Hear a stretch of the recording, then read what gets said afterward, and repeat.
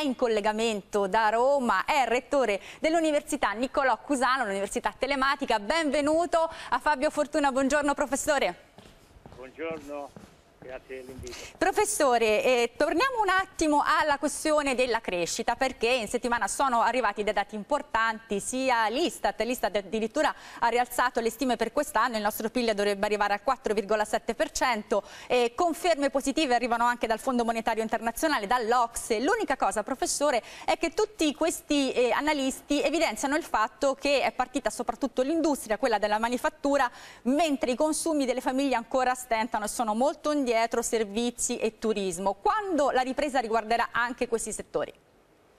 Intanto accontentiamoci che la ripresa ci sia, perché indubbiamente usciamo da una situazione disastrosa e grazie al miglioramento della campagna di vaccinazione e anche a tutto ciò che stiamo vedendo in termini di riaperture, la ripresa c'è. È evidente che alcuni settori rimangono indietro e c'è poi il problema, come lei diceva, dei consumi.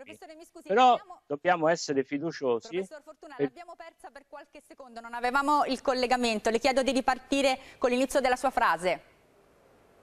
Eh, sì, stavo dicendo che i dati che lei ha ricordato ci confermano che eh, l'Italia sta migliorando. Indubbiamente il miglioramento riguarda alcuni settori e altri no e sappiamo benissimo quali siano quelli in maggiore difficoltà. Ora però bisogna avere fiducia e ottimismo legate a un, a un sano realismo perché la situazione evolverà positivamente a condizione che lo stato della pandemia continui anch'esso a mostrare dei segni di miglioramento. I consumi, certo, devono riprendersi, però dobbiamo essere fiduciosi.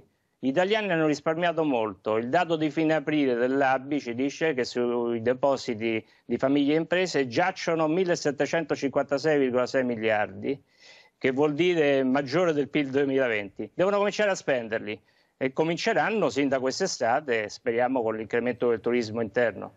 Professor Fortuna, il governatore di Banca Italia Visco ha detto non è pensabile eh, vedere per i prossimi mesi un futuro basato su sussidi pubblici e sostegni. Secondo lei quanto durerà, quanto dovrà durare il sostegno del governo a famiglie e imprese? Ma durerà quello che è necessario. Indubbiamente Visco sollecita il fatto che non si può andare avanti con i sostegni, ma i sostegni diretti e indiretti ancora per alcuni mesi ci accompagneranno. Probabilmente se le previsioni del governo sono esatte non ci sarà bisogno di un ulteriore spostamento. Ma la situazione è, al momento, anche sotto questo profilo, mostra qualche segnale di miglioramento, soprattutto per alcuni settori.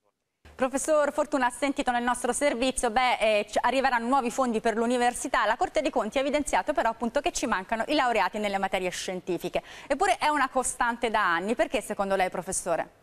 I laureati STEM, cioè materie scienze, tecnologia, ingegneria e matematica, rappresentano il 24,7% dei laureati, quindi un livello molto basso. Ma io credo, intanto per eh, un'abitudine a facoltà di altro genere, mi riferisco a economia, giurisprudenza, scienze politiche, e poi perché questa frenesia dell'innovazione tecnologica giustissima e della digitalizzazione e i problemi ambientali si stanno avvertendo molto in questa fase. Quindi io credo che l'aumento che negli ultimi anni si è verificato di questi laureati con una bassa percentuale di donne, questo va sottolineato, del 24,7%, solo il 16,2% rappresentato da donne, queste percentuali aumenteranno sostanzialmente proprio grazie al recovery plan e a tutti gli argomenti connessi.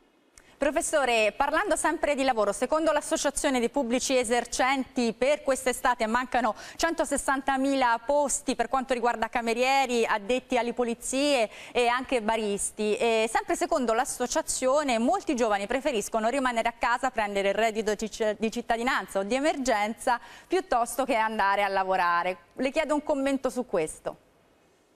I sussidi che lei ha richiamato indubbiamente contribuiscono alla difficoltà del reperimento di, di, soggetti disposti a lavorare a livello stagionale, anche se, secondo quello che si sente, eh, lo salario offerto a questi soggetti è di gran lunga superiore. Certamente è un problema e serve rimediare in qualche modo. Speriamo che possa risolversi il problema e la stagione possa partire Grazie professor Fortuna per essere stato con noi, buon fine settimana.